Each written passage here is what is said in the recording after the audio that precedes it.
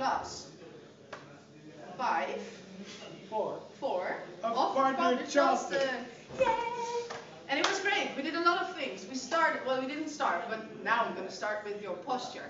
So we talked about a few pointers. First of all, we talked about your frame. So we ask you to roll your shoulders and then leave them there. Don't leave them back like this, but relax and make sure you keep it like this. We also practice a little bit where we keep our frame and a stretch, or where we just go out like this. So what we want is to create a stretch like this. Then we talked about um, basically the distance between our feet is not here, it's more or less here. We unlock our knees and then we talked about our hips, that our hips make enable us to move or not, basically. So we moved our pelvis to the front, to the middle and to the back. And we started making circles when we have our pelvis to the front and we noticed it's very difficult. Then we did it to the back. Again, started to move circles, very difficult. Then to the middle and ah, totally works.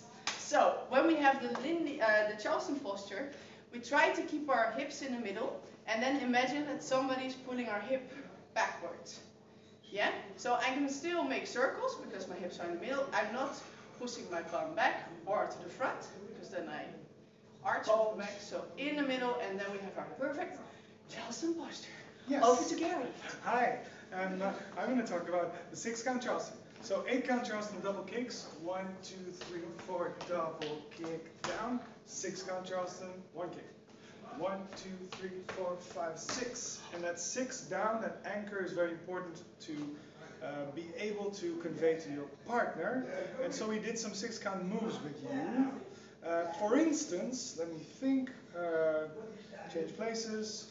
Send out, Send out, close, circle. So we tuck can uh, turn. show you a few examples where the going down on the six count is super important. So we uh, send out, for instance, rock, step, kick, step, kick, down. Uh, and we did a circle, uh, which we had a lot of fun with. Uh, six count, here we go. Rock, step, kick, step, kick, down. And, well, you get the idea. Any six count will go. And I think that was it.